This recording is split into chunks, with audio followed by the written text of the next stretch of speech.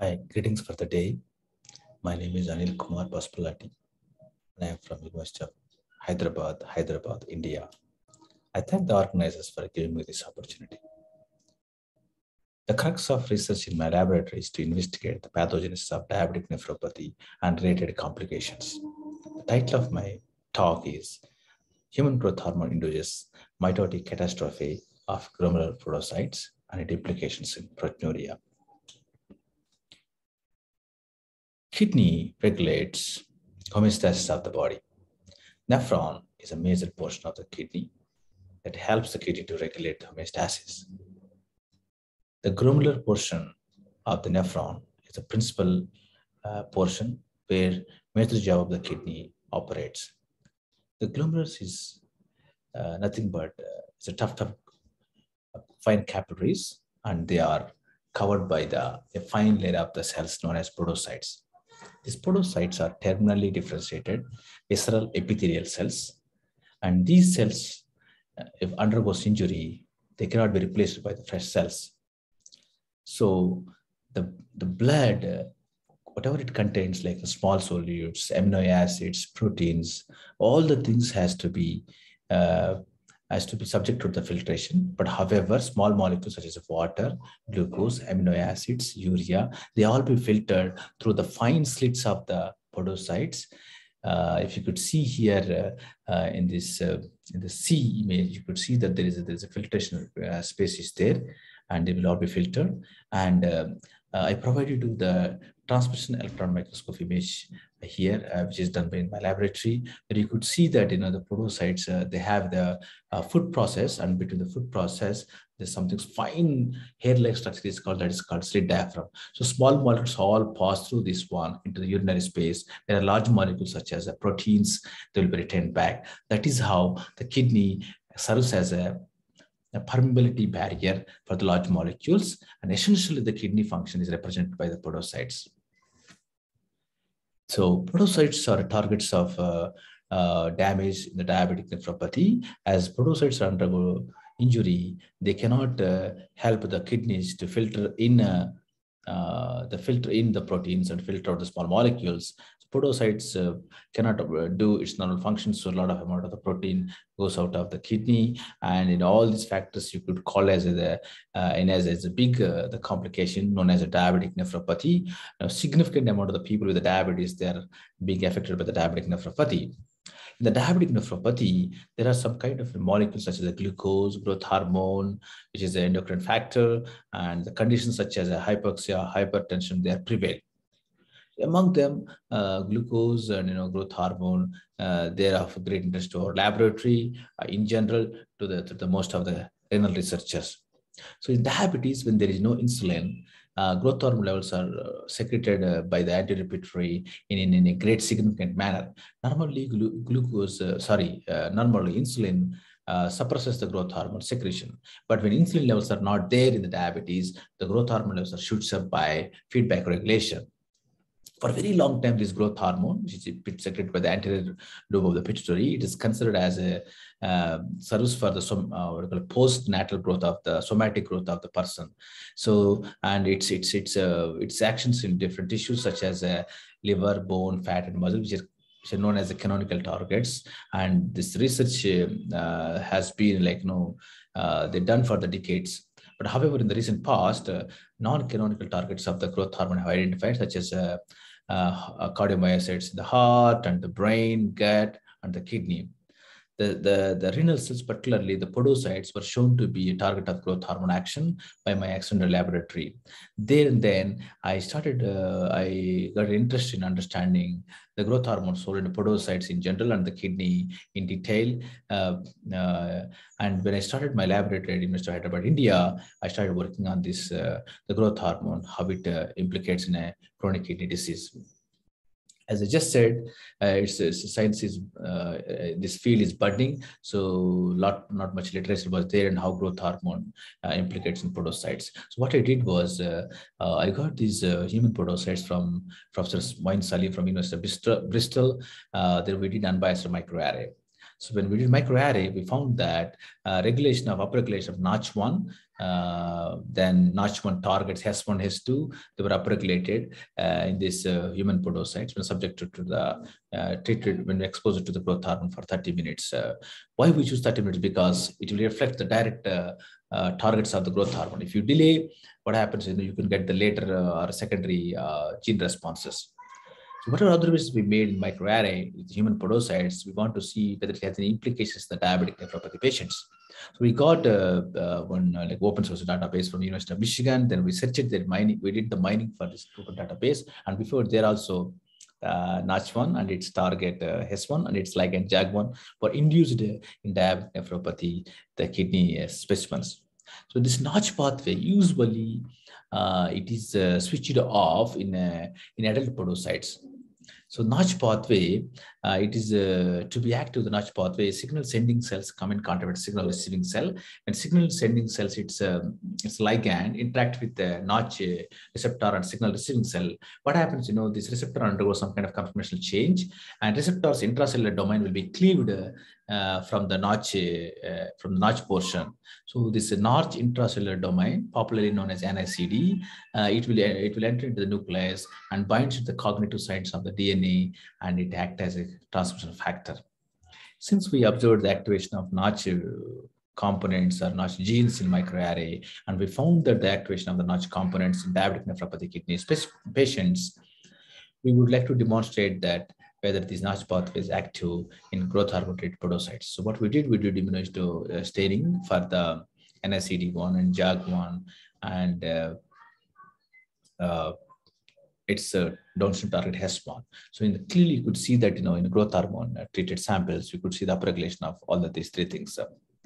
Simultaneously in our laboratory, uh, we were interested in understanding the secretome aspects of the podocytes. The secretome, that means um, what, whenever we treat with the growth hormone or any other, uh, any other uh, um, uh, components that really damage the kidney, what happens, we collect the conditional medium, so that means spent medium, and we subject to the mass spec analysis. So here we did with, when we treated with the growth hormone, we took the conditional medium from the both control and growth hormone treated podocytes, subjected to the LCMS, And interestingly, we found that induction of TGF beta uh, in the, in the secretome we reconfirmed the secretion of the TGF beta by the growth hormone treatment by performing ELISA uh, of the conditional medium. We found that you know there's induction of uh, TGF beta, uh, significant induction of TGF beta uh, in, in the, the, conditional medium. You could see in the B. Uh, then when we treated these podocytes uh, along with growth hormone and also with uh, JAK growth hormone, uh, JAK, JAK2 inhibitor like AG490T. That means when we block the growth hormone downstream pathway, we could able to prevent the growth hormone, we were able to prevent the TGF beta secretion by the growth hormone. So that's you could see when in AG490 treatment, which is JAK2 inhibitor, even though there is a growth hormone, uh, the TGF beta levels were comparable with control. Uh, during this time, we did the pathway enrichment. Very interestingly, the pathway enrichment of this all LCMS peptides data revealed that there is activation of Notch pathway uh, in addition to the cytokine-cytokine receptor interaction, the TGF-beta cytokine uh, activator. When we treated the cells, uh, what interesting thing what we found was uh, the, when compared to control cells, growth hormone cells showed more than one nuclei.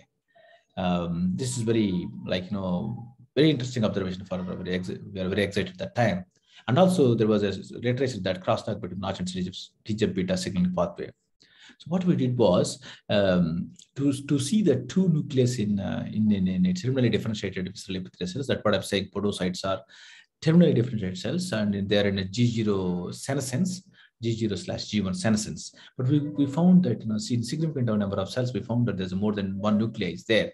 So that obviously it will only explain when cells are, uh, cells are proliferating. So what we did was, you know, um, we measured the content of the DNA uh, in control and growth hormone treatment cells along with the inhibitor for JAK2. So what interesting what I noticed was, as we explained before, most of the control cells were in G, G1, G, G1 stage, but in growth hormone TGF beta, significant portion of cells were are uh, in a S phase and also G2M phase you could if you could see very closely in the case of the figure B, you could see there are some cells are producing more and more and more DNA content, even it is like a 4N. So it suggests that with the treatment with growth hormone TGF beta, the podocytes are under uh, undergoing proliferation, and the proliferation is inhibited uh, when we added these cells with the uh, inhibitor for JAK2. That's actually that prevents growth hormone signaling. Since uh, we noticed, we are claiming that the cells are proliferating when we treat it with the growth hormone TGF beta, uh, it is the data is supported by observation of Ki67, which is a marker for proliferation in the podocytes. You could see that there's in the C, in the figure C, there's induction of the Ki67. So we would like to demonstrate uh, by Western immunoblotting uh, the activation of you know cell cycle entry by using the S phase marker PCNA, by using M phase marker cyclin B1, and also as we noticed the G2M uh, stage more number of cells are accumulated in the, in the FACS analysis. We also used the uh, the markers for uh, G2M phase.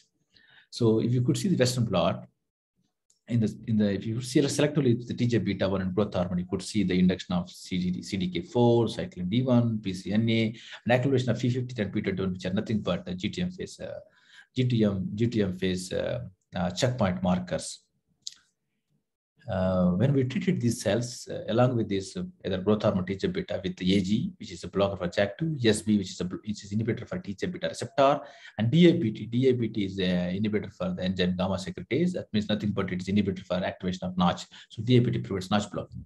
So whenever we use this inhibitor, there is no uh, proliferation uh, of uh, these podocytes. This strongly suggests that the growth hormones are under proliferation selectively by growth hormone and R by TGF beta. So uh, we next uh, we next understood what are these implications of uh, selective expression of uh, G2M phase markers. Even though we could see the cells are proliferating, but we never see the daughter cells, two daughter cells. So uh, if, you, if, you, see very closely here, when compared to the control, which has uh, like a phalloidin staining, uh, like you know, see the panel A phalloidin staining, there are three cells are there. You could see the DAPI, three nuclei are there, which are individual cells. But in case of growth hormone TGF beta, you could see the more than one nuclei is there and cell is, en cell is enlarged.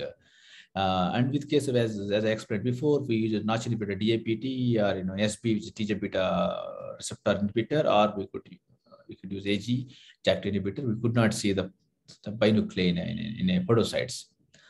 Uh, when we stand for the tubulin, which is a tubulin, essentially the you know like uh, uh, the chromosomes are separating. You know, the we can we could, we could see the chromosome separation during the metaphase or anaphase using the staining of the tubulin. We could see the very clearly the the, the splinters are formed, and you know the, the chromosome content is, is like trying to move towards the poles uh, of uh, podocytes in case of growth hormone TGF beta. What we noticed was here the cells are trying so there's a karyokinesis that means nuclear division is there and you know the the the the, the, the daughter uh, chromosomes are starting to separate out but they're not completely uh, completely you know uh, separated out to form a uh, to form a two new daughter cells. As we could see, the percentage of binucleate podocytes are more in growth hormone TGF beta, and also some more number of podocytes are accumulated in phase, selected in growth hormone TGF beta condition. So what we noticed was we probed for actually, we probed for anything, anything DNA damage was there. So KUAT, RAD50, and you know H2A, these are the markers for uh, DNA damage and DNA repair. So we probed, we probed for you know, these markers in the Western blot, and we found that uh, these uh, DNA damage markers were upregulated uh, in growth hormone TGF beta, and we could see very sparingly in all the treatments in the wherever wherever we use the inhibitors. Then the, there is a there is a very key molecule that supports the cytokinesis, you know, separation of uh, separation of daughter cells by by by regulating at uh, the furrow. That when two daughters are separated, the cleavage furrow is regulated. Uh, formation of cleavage furrow is regulated by the RhoA.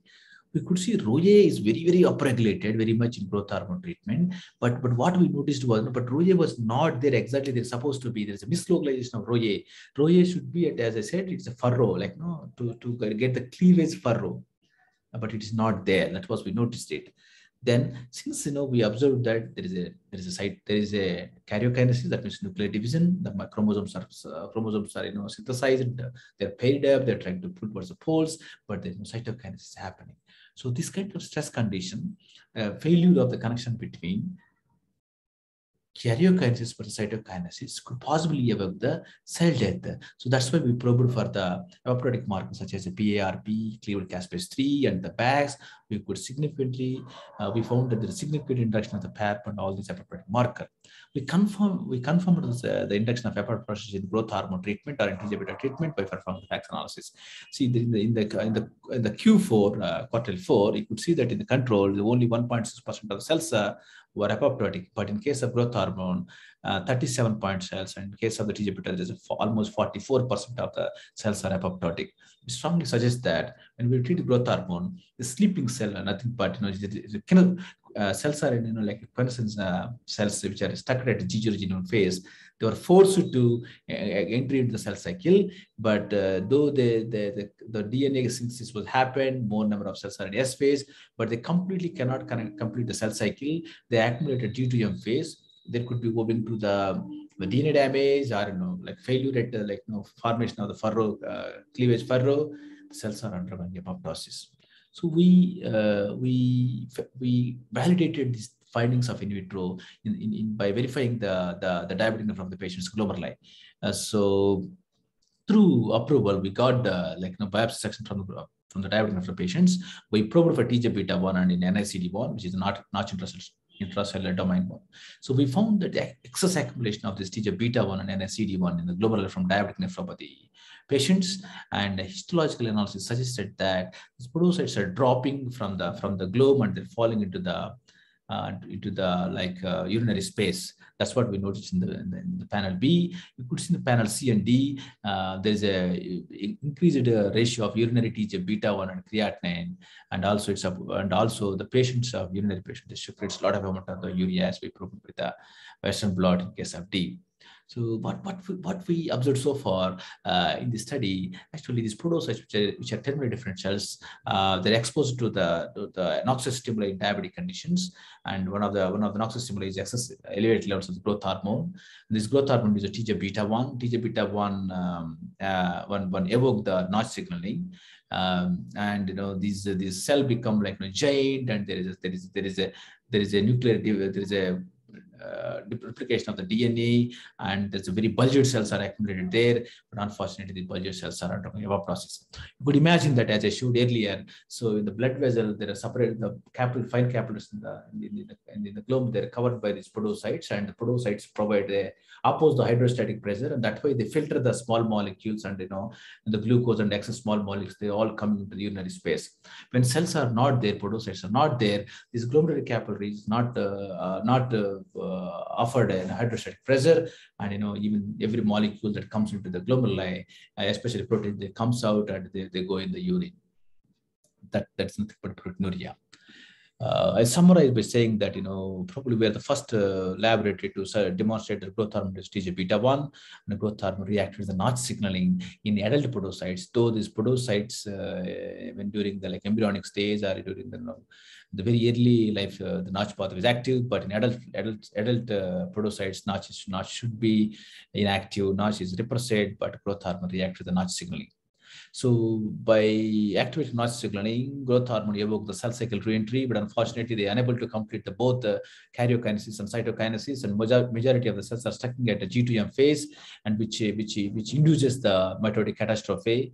As we showed that you know the the the, the apoptosis pathway is active, and with FACS analysis we could show that 60% of cells are you know accumulated uh, uh, like you know, quartile four.